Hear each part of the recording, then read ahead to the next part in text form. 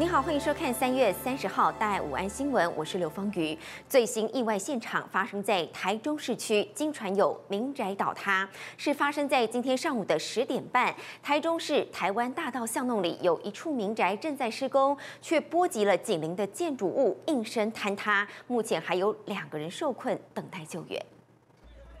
画面中看到是有一名男子被救出来，送上救护车，还在治疗。这是发生在台中市的一间民宅施工中，却意外造成了紧邻的两层楼高民宅应声坍塌。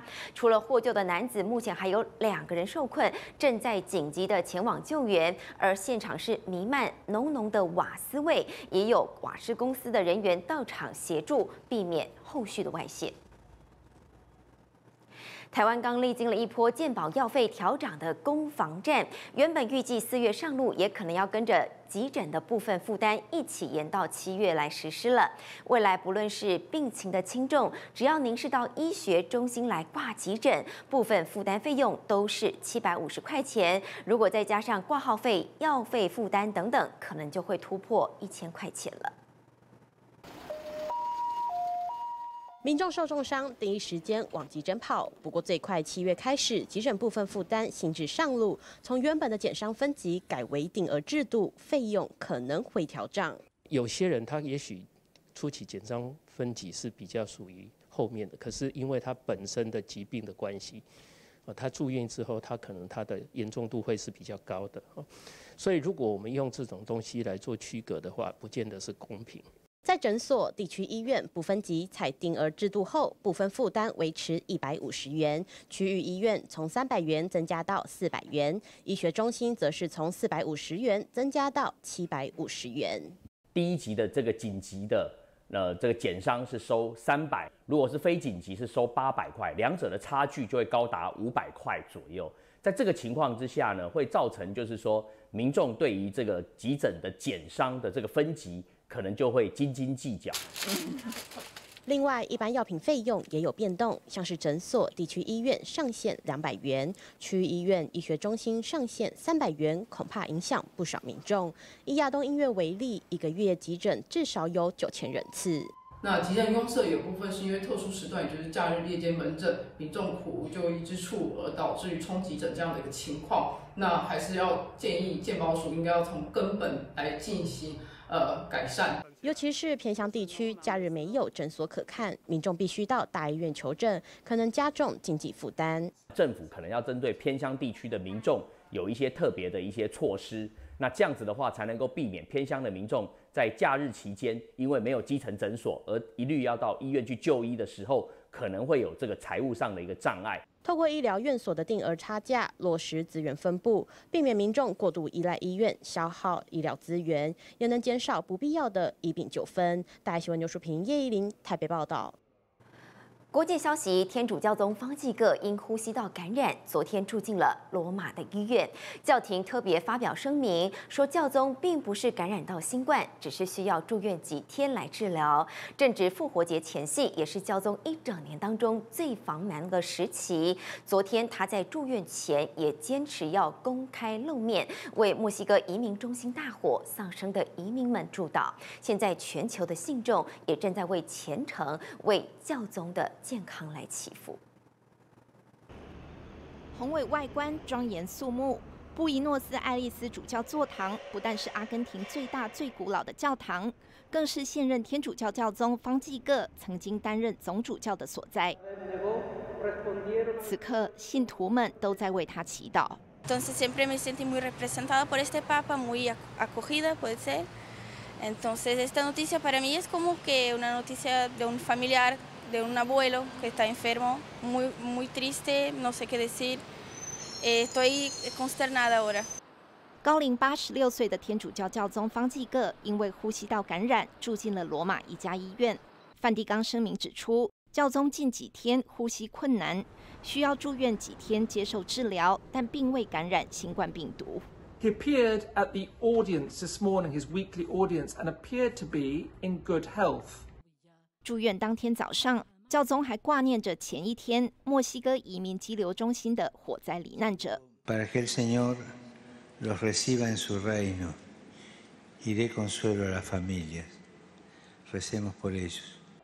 复活节到来前是教宗一年中最繁忙的时期，行程几乎满档。但他因为膝盖不适，近几个月都以轮椅代步。二零二一年曾经动过手术的结肠问题，也在今年一月复发。教宗之前曾表示，若健康状况恶化，希望能追随本笃十六世的脚步，主动辞职。但信徒们仍希望他尽快康复，继续启发善念。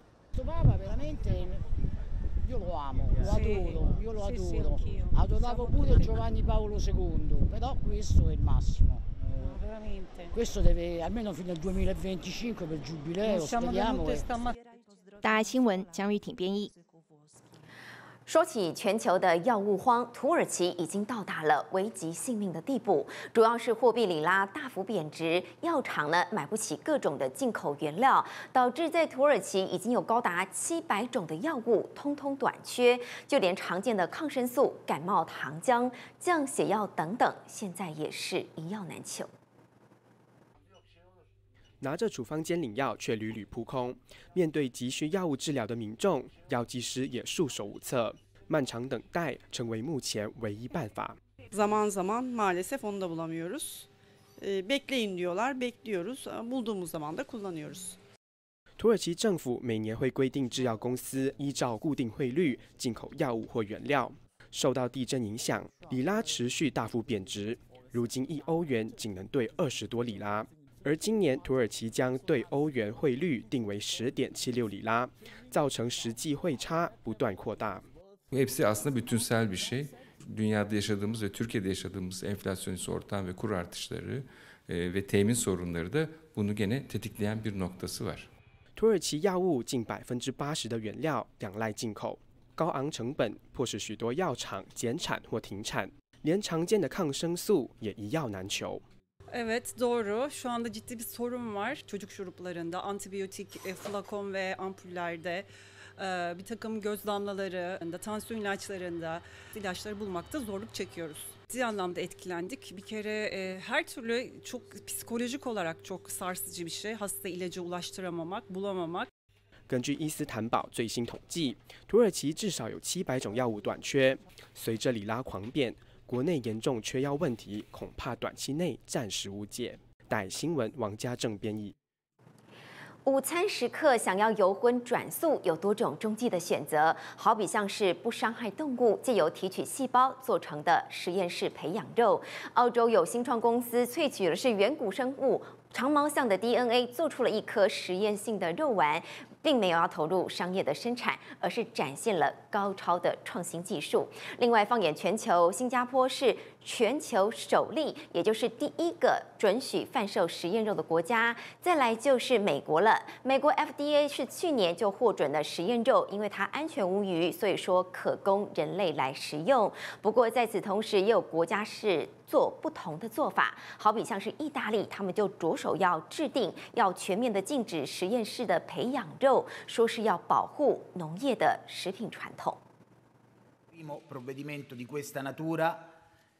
A livello internazionale, l'Italia è la prima nazione che dice no al cibo sintetico, alla cosiddetta carne sintetica, lo fa con un atto formale ed ufficiale. crediamo sia un risultato importante。意大利政府准备要禁止的，并不包括植物肉，而是说用这个 DNA，也就是细胞的部分所生产的实验培养肉，违者最高可处罚新台币折合有两百多万元。主要在于希望保护意大利的传统饮食。回到台湾，二零二三年智慧城市展集结了智慧医疗、教育、建筑、近邻城市主题，有上千个摊位，要带领民众近距离认识生活当中的元宇宙。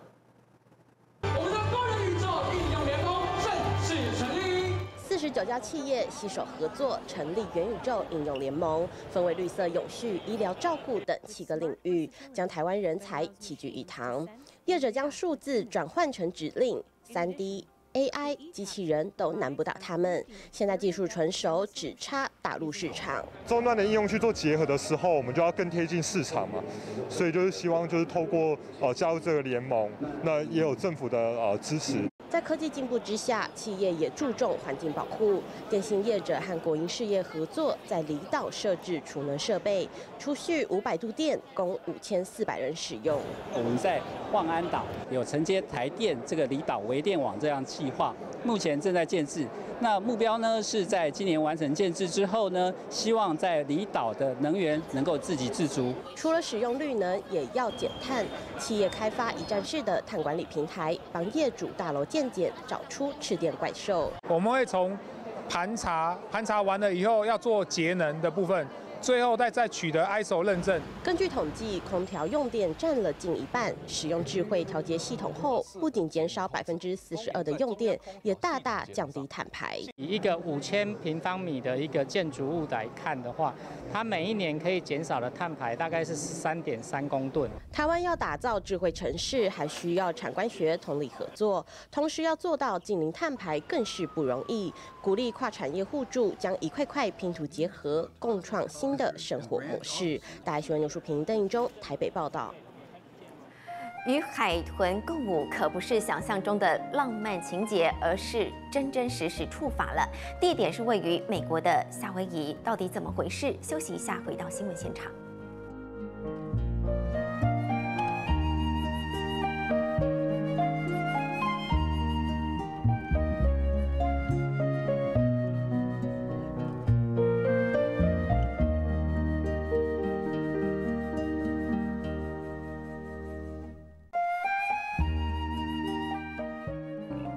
我喜欢你的与世无争，我爱你的绿意盎然。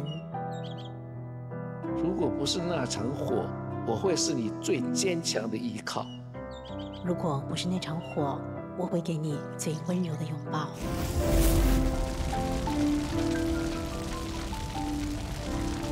如果不是那场火，如果不是那场火。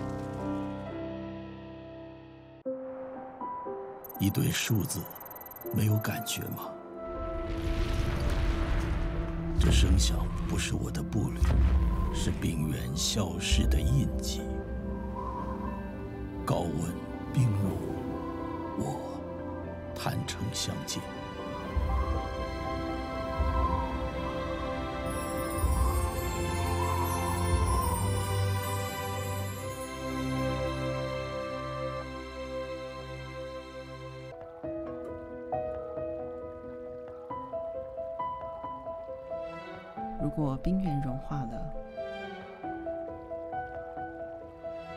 如果海平面上升了，母亲地球的容颜是否慈爱依旧？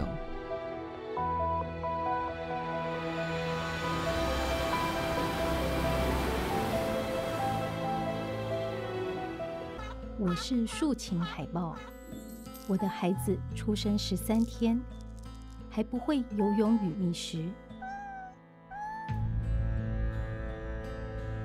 因为海冰变得又薄又碎，他们坠入海中就淹死了。那是我怀胎十一个半月的孩子啊！气候难民，下一个会是你我吗？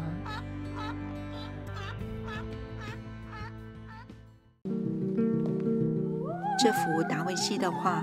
世人充满揣想。这段达维西的话，世人是否有感？他说：“人的确是禽兽之王，他的残暴胜于所有的动物。”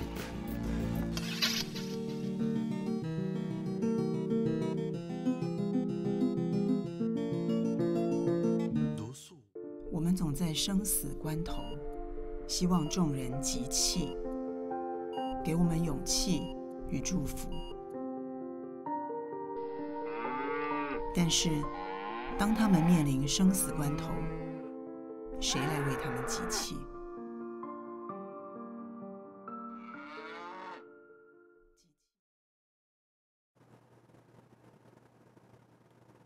欢迎回到新闻现场。全新大剧《打怪任务》描述的是台湾在新冠疫情三级警戒期，台北慈济医院的医护人员齐心对抗疫情的故事。演员梁振群他饰演的是胸腔内科医生，苏文玲用心揣摩医师对待病患束手无策的心情。开拍前，演员梁振群坐在楼梯间酝酿情绪，这一场戏他印象深刻。我们用尽了所有方式要抢救，但是已经真的找不到方法。当时打疫苗的那个副作用也在同时开始发作，在楼梯间就有一点小小的崩溃。饰演的是台北慈院胸腔内科医师苏文玲，眼看病患的生命一点一滴流逝，却束手无策，加上还要穿上层层防护衣，对演技也是一大考验。在那样子被紧缚着，然后一整天的情况下，外在这么这么劳累、这么热的状态，还要非常专注的在他的工作上。大爱电视台新戏《打怪任务》以 COVID-19 为背景，当时台北慈院医护人员面对疫情冲击所发生的故事。演员陈璇饰演医护人员，专业医疗行为精准到位。要学习怎么插管，学习比如说要怎么抽痰，或是呃要怎么给他们氧气这样子。饰演护理长的陈婉婷，因为去年爸爸往生，让她特别有感触。那一天我们接到病危通知，然后从台北赶回南部，我完全不知道里面的状况到底是什么，我们只能一直非常紧张，等待、等待、等待、等待、等待、等待，漫长的等待。来哦，准备正式哦。那九月呢？九月也没办法去啊。优质的演员和制作团队，加上专业的医疗棚，把医护人员的使命透过戏剧传达，让人期待。大爱新闻将军国际中台中报道。真切医病情也定期在教养院上演。此际，仁医会的医护还有志工，带着专业和耐心，消除院生对于看牙的恐惧。听到钻牙声，情绪难免更紧张。志工在一旁给予抚慰。在牙科诊疗椅上，同时系上蓝色泡棉束带，安住身心。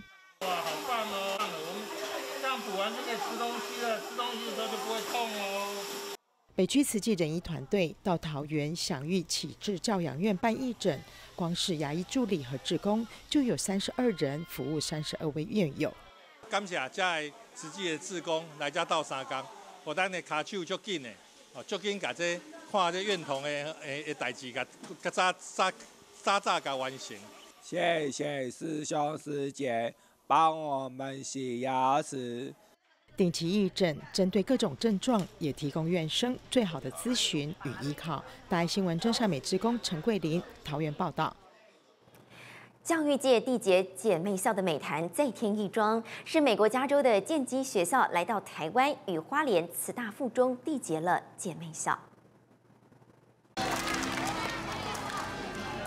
一踏入校园，美国建基学校的师生就感受到慈小的热情。有朋自远方来，我觉得是一件非常开心的事情，这是一个非常好的学习机会。一起描边，一起擦掉，再一起上色，体验不同的学习方式。请奉茶。还有丰富的人文课程，启发孩子们对生命的不同体会。你不能杀生，抓紧每一个来保护我们地球的方法和方式。所以，对我觉得那个是我学到最大的知识。可以，嗯，放在我们的教室里。对面是我们的签名。哇！互动中建立起友好的情感，这是建基学校的校长最想让孩子们体验的地方。到底这个机构一直在做的是什么？他怎么能够做出这么多，嗯，能够影响世人的呃？壮举出来。美国剑击学校位在科技重镇帕罗奥图市，和慈大附中缔结第一所姐妹校，为的就是学习人文精神。以后的方向上面，我会更加多的呃摆放进去的。这样这个小朋友呢，他呃有能力。呃，有方法，也知道应该这么做，同时有一颗非常善良的心，以人文为本的品德教育、生活教育，学校之间的特色可以彼此欣赏、彼此互补，让我们孩子的学习得到最大化的学习。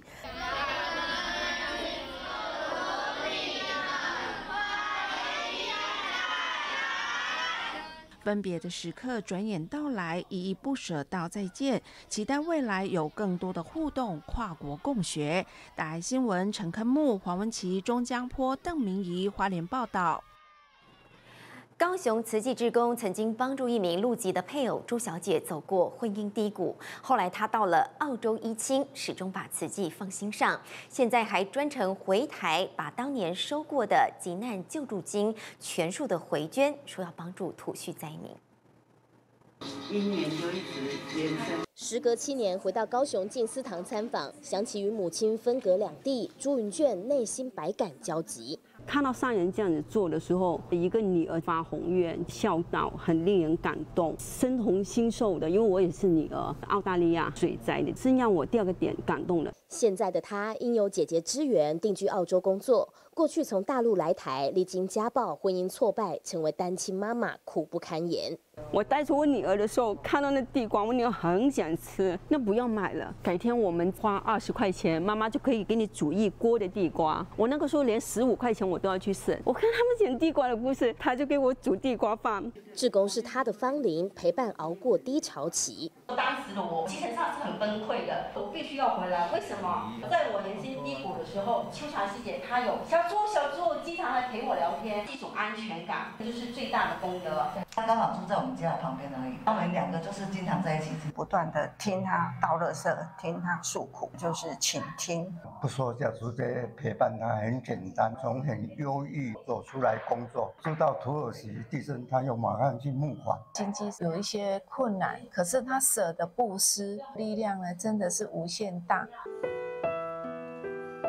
澳洲那边，我们的职工，你可以再做一个种，这个可以。奇迹需要用到我，我一定要去做。我这次回来一一拜访他们，说声谢谢。当年慈济志工带来的急难救助金，如今朱云卷全数捐出为土耳其赈灾，也期许自己在南半球也能走慈济路，以同理心为妇幼带来援助。大爱新闻真善美之工高雄综合报道。三月底到四月是伊斯兰教的斋戒月，同时也是基督教复活节前夕的大斋期。信众们会借由降低口欲、修炼身心，但体力上难免会受影响，因此大多数人都会降低自己的活动量。不过，在马来西亚槟城却有这么一群有爱之人，他们是横跨了三宗教——基督、伊斯兰以及佛教，借由净滩来奉献给大地。不同信仰的跨宗教合作，大家有着同样的目标，要为社区提供更洁净的环境。We go through 40 days of Lent. Lent is a time where we make penance and we do charity work to prepare us for Good Friday and Easter Sunday. And we thought about doing this cleanup.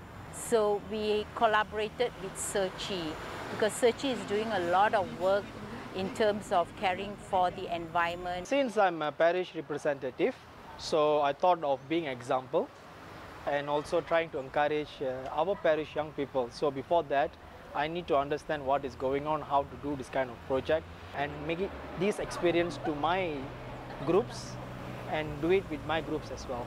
除了教区成员和志工，也有年轻学子主动报名，身体力行，爱地球妈妈。不要去呃随随便乱丢。你这样想的是哦，我们只是一个一个垃圾去丢，呃，我们随便丢应该不会造成问题，可是久久而久之也是会堆起来，也是很多垃圾出来的，会造成呃以后也造成很多的问题。一直想到听到上人在那个呃呃呃人间菩提的时候，叫我们不要空过，然后我就就把握这次的机缘来做这个净滩。然后，呃，然后就就觉得很有意义啦，我还会再来。六十多人的齐心付出，帮助社区找回属于他们原有的美丽。大爱新闻蔡迪根王荣海，马来西亚报道。碧海蓝天与海豚共舞，这般看似只出现在 Discovery 的景象，真实发生在美国夏威夷。有三十多名的泳客被空拍机拍到了，他们疯狂地追逐海豚，严重违法，一上岸就遭到了逮捕。这是由夏威夷官方公布的影片，三十三名的泳客明显感染到海豚的作息。海豚在白天的时候虽然照常的游泳，但有一大半的大脑是在睡觉的，晚上才有足够精力觅食。夏威夷二零二一年就制定了新法，禁止民众在海豚周围来游泳。这群泳客已经打乱了野生海豚的日常，将会面临到相关的刑责。泰国则是距离曼谷两小时车程的考兰国家公园发生了野火，很可能是雷击以及强风导致。已经布援了救援队伍和志工来扑灭火势，也开辟了防火带，希望尽快的控制住。当地的居民表示，其实周遭的人口并不多，但是野生动物栖息地势必会受到这场林火波及。